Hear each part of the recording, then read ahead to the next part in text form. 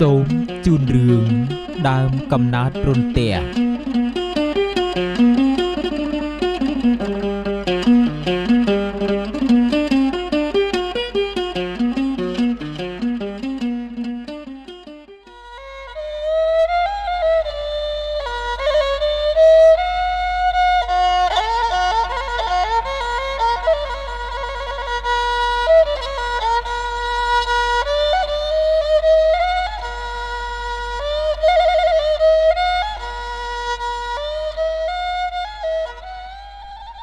ពីព្រេងនាយមានបិសាចមួយឈ្មោះរាមាសូ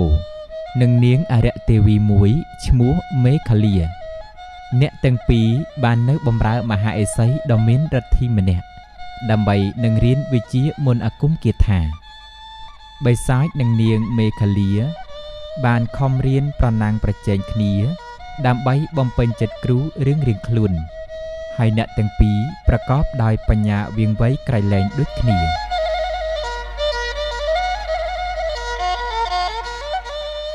តាបោះក៏ស្រឡាញ់អ្នកទាំងពីរនោះស្មើគ្នា កាលបើតាបោះបានបង្រៀនសិស្សលោកចប់គ្រប់វិជ្ជាហើយលោកក៏ចង់លបងវិជ្ជាសិស្សមើលថាតើអ្នកណាមួយប៉ិនប្រសពជាងគេ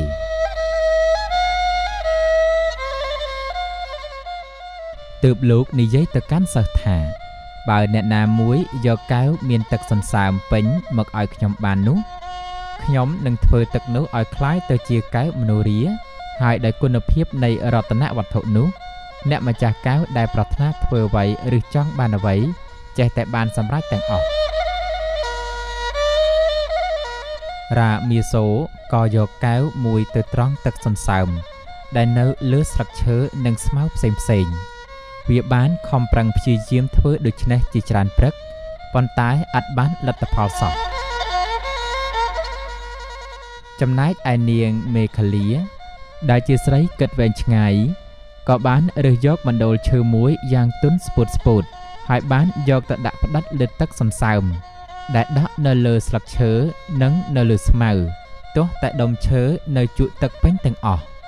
បន្ទាប់មកនាងមេខាលាក៏បានយកដុំឈើដែលនៅ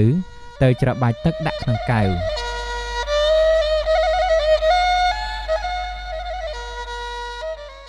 អាស្រ័យដល់ហេតុនេះនាងក៏រកទឹកសន្សើមដាក់កែវបានពេញ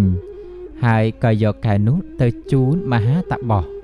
ហើយដូច្នេះបានជានាងអរិយទេវីត្រូវបានតបោះសម្គាល់ថាប៉ិនប្រសពជាងបិសាច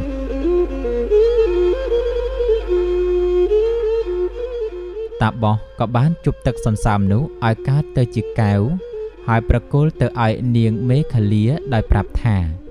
កែវនេះមានគុណភាពខ្លាំងណាស់បើអ្នកមានបំណងអ្វីមួយគ្រាន់តែលើកកែវនេះក្រវីឡើង នោះមួយរំពេចសេចក្តីប្រាថ្នារបស់អ្នកនឹងបានសម្រេចភ្លាមមួយទៀតដោយគុណភាពនៃកែវនេះអ្នកអាចហោះហើរកាត់អាកាសកប់ពពកជ្រកអាចចន្លេនទៅកាន់កន្លែងណាក៏បានទាំងអស់នាងអរិយទេវីក៏ទទួលយកកែវនោះមកហើយក៏បានលើកក្រវីឡើង ស្រាប់តែហោះវឹងទៅលើមេឃតម្រង់ទៅមហានគរចំណែកឯរាមេសូអាស្រ័យដែលការព្យាយាមដ៏យូរក៏រកទឹកសន្សើមដាក់បានពេញកែវហើយយកទៅថ្វាយមហាអេសីមហាអេសីពោលថាចៅឯងយករបស់នេះមកយឺតពេកហើយហួសពេលតាត្រូវការហើយឥឡូវតាឲ្យរតនវត្ថុនេះទៅនាងមេខាលាទៅហើយ មន្តអាគមគាថារបស់តា អាចជប់វត្ថុបែបនេះបានតែមួយដងទេកាលបើបានឮមហាតបោះថាដូច្នេះរាមាសូក៏កើតសេចក្តីទុំមនោះពុនប្រមាណហើយក៏ស្រែកយំអណ្ដោកអណ្ដើកយ៉ាងខ្លាំងដើម្បីលួងចិត្តបិសាចតបោះនោះក៏បានប្រាប់ថាចូលចៅកំកើតទុកខ្លាំងពេក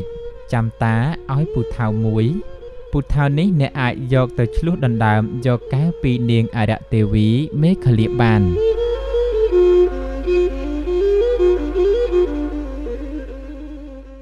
នាងមេខលានេះចូលចិត្តហោះហើរលេងនៅលើអាកាសដើម្បីចុះមួយទឹកភ្លៀងដែលមានភ្លៀងម្ដងម្ដង ចូលអ្នកចោលពុទ្ធោនេះទៅលើវា វានឹងបោះចោលកែវដ៏មានតម្លៃនោះប៉ុន្តែនៅពេលប្រយុទ្ធគ្នានោះ ចៅឯងឃើញវាលើកកែវឡើងក្រវី ចូលចៅឯងបិទភ្នែកភ្លាម មុននឹងចោលពូថៅទៅលើវា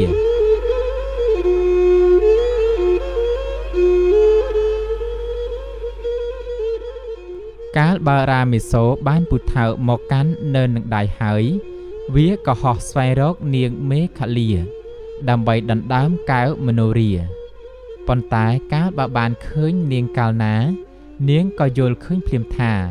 បិសាចនេះប្រកាសជាមកបំណងធ្វើអាក្រក់មកលើនាងពុំខាន